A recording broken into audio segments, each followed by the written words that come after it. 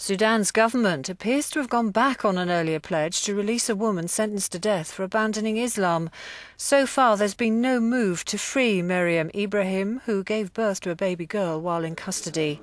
The government now says only the courts can order her release, something which her husband and lawyers are urging them to carry out as soon as possible.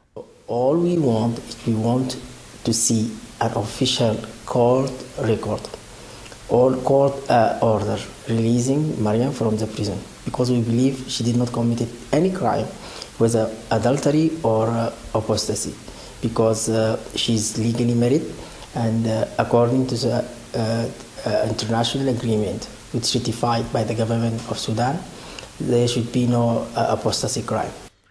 Western nations have expressed outrage at the conviction of the 27 year old mother. The case has also divided Sudan.